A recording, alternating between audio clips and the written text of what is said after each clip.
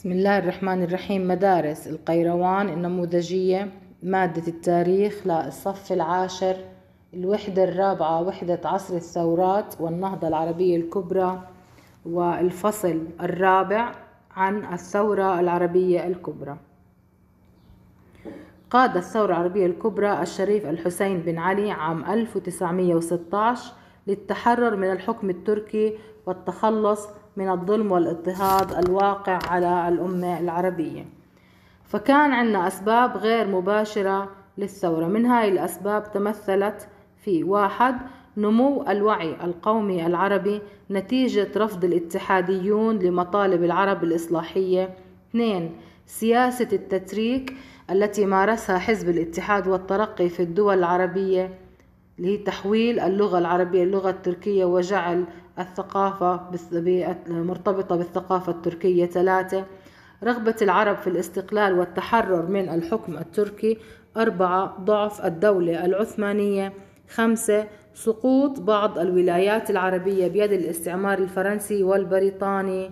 ولم تقم الدولة العثمانية بالدفاع عنها. جميع هاي الأسباب أدت إلى ظهور الثورة العربية الكبرى. بالنسبة سياسة التتريك هي سياسة مارسها الاتحاديون اللي هم حزب الاتحاد والترقي ضد رعايا الدولة العثمانية من خلال تتريكهم وتغيير ثقافتهم الأصلية وفرض اللغة التركية عليهم وفرض الضرائب الباهظة عليهم. أما الأسباب المباشرة للثورة فكانت واحد سياسة جمال باشا السفاح تجاه العرب وكانت سياسة ظالمة. اثنين إبعاد الضباط والجنود العرب عن بلادهم إلى القتال في أماكن بعيدة. ثلاثة إعدام الأحرار العرب ومثقفيهم ونفي عائلاتهم. أربعة مصادرة المحاصيل الزراعية وإجبار العرب على دفع الإعانات للجيش. وفتفشت المجاعة بينهم. خمسة دخول تركيا الحرب العالمية الأولى إلى جانب ألمانيا. هاي كانت الأسباب المباشرة للثورة. نتحدث عن الشريف الحسين بن علي ولد عام 1852 وكان محط احترام العرب والمسلمين لنسبه بالرسول عليه الصلاة والسلام ولكونه شريف مكة.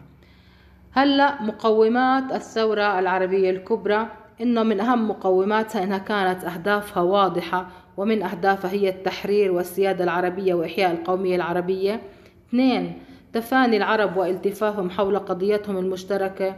ثلاثة قيادة مؤهلة ومقبولة على الصعيدين العربي والدولي.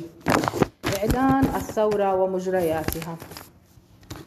أطلق الشريف الحسين بن علي الرصاصة الأولى في عشر حزيران عام 1916 في 29 حزيران أصدر منشورا أعلن فيه استقلال البلاد عن الحكم التركي وشارك فيها العرب من البلاد العربية كلها.